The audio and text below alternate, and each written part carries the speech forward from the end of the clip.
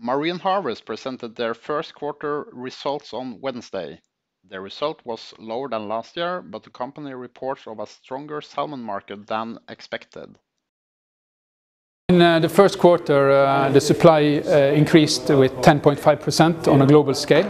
And even though the price was down compared to the first quarter of 2017, we saw a gradually increasing price to a very high level towards the end of the quarter and a continuously increasing price into the second quarter.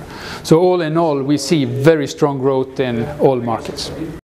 The company is not satisfied with the price they achieved for their Chilean salmon. Just as now the lowest production cost in Chile, but we are not making the money we would like to make uh, in terms of EBIT per kilo. So we need to increase the price uh, per kilo in in Chile.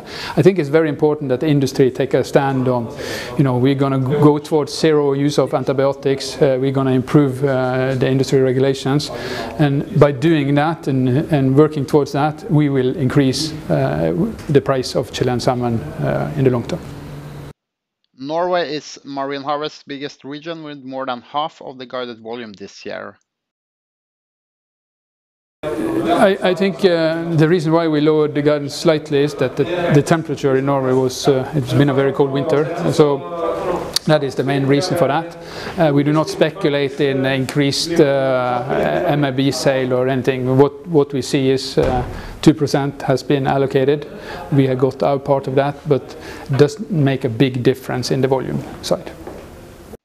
The company's stock price has doubled in three months. Today is stable. Total, it's uh, it's within the expectations we had uh, before the report. Uh, total volumes are down 2.4%, and and that is within the 2%-3% range we expected.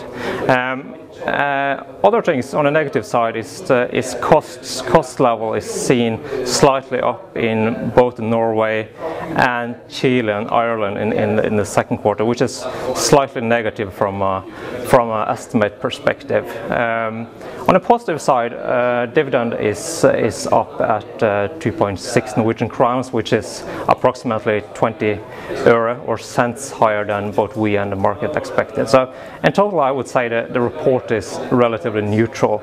Uh, but there are maybe some negative elements uh, related to the cost level and of course the volume guidance.